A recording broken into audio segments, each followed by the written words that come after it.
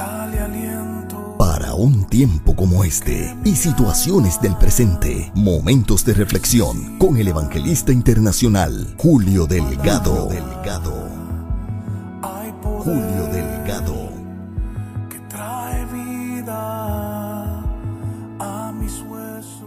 Dios te bendiga. La reflexión para hoy la estaré basando a la altura de los versos 15 al 17 del capítulo número 6 del segundo libro de Reyes que dice, y se levantó de mañana y salió el que servía al varón de Dios. Y he aquí el ejército que tenía sitiada a la ciudad con gente de a caballo y carros. Entonces su criado le dijo, ah, Señor mío, ¿qué haremos? Él le dijo, no tengas miedo, porque más son los que están con nosotros que los que están con ellos.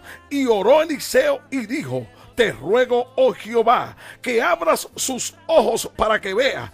Entonces Jehová abrió los ojos del criado y miró, y he aquí que el monte estaba lleno de gente de a caballo y de carros de fuego alrededor de Eliseo. Hoy quiero llamar tu atención. Tengo una palabra para su vida, porque usted se imagina lo que es despertar completamente rodeado de enemigos. ¿Cómo habría usted reaccionado si al despertarse a primeras horas de la mañana usted se viera rodeado de todo un ejército enemigo? Probablemente se hubiera despertado con temor y con desesperación. O usted habría visto a tus enemigos como polvo en relación al poder de nuestro Dios, porque tu problema no es más grande que Dios. Eliseo, siendo el profeta de Dios, se encontró con esta situación después de haber dado consejos valiosos al ejército de Israel. El rey de Siria decidió tomar a Eliseo como prisionero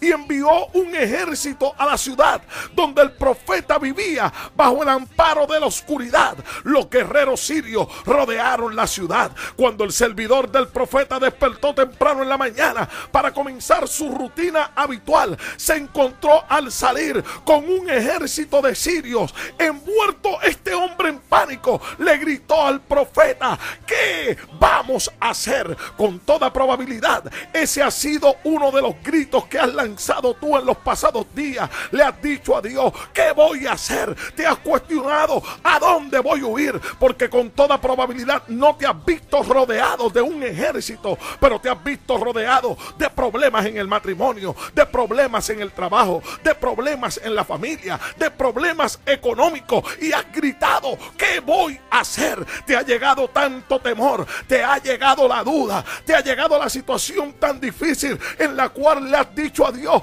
¿y ahora qué voy a hacer? ¿Qué voy a hacer? Estoy rodeado. Yo no sé cuántas situaciones te han rodeado en los pasados días. Yo no sé cuántos sucesos te han rodeado en los días pasados o en las horas pasadas, donde has gritado como el siervo del profeta, ¿qué voy a hacer? Pero el profeta simplemente le dio una palabra y le dijo, no tengas miedo. Son 365 días los que componen un año y son 365 veces que aparecen en la Biblia la palabra no temas. El profeta le dijo, no tengas miedo. Y simplemente el profeta le dijo, porque más son los que están con nosotros que los que están con ellos. El profeta oró por su siervo a Jehová y le dijo a Jehová, te ruego que abra sus ojos para que vea. Hoy quiero hacer esta oración por ti y pido al Dios Padre que todo el que esté escuchando esta reflexión en este momento le sean abiertos sus ojos, que tu problema no es más grande que lo que Dios puede hacer, que tu problema no es más grande que el que ahora mismo en el nombre de Jesús se está realizando a tu alrededor. Más grande es lo que Dios está haciendo que lo que tus ojos están viendo. Así que no temas, porque más son los que están con nosotros que los que están con ellos. Si deseas contactarnos, es muy fácil comunicarte con el evangelista internacional Julio Delgado para tus eventos, campañas, conferencias o consejería, llamando al 407-791-4123 o visitando el www.juliodelgado.org. Gracias por permitirnos ser de bendición a tu vida.